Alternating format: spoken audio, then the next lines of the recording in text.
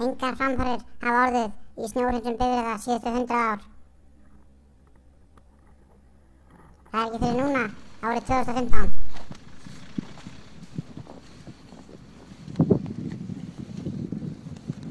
Við kynnum þrýstisköfuna.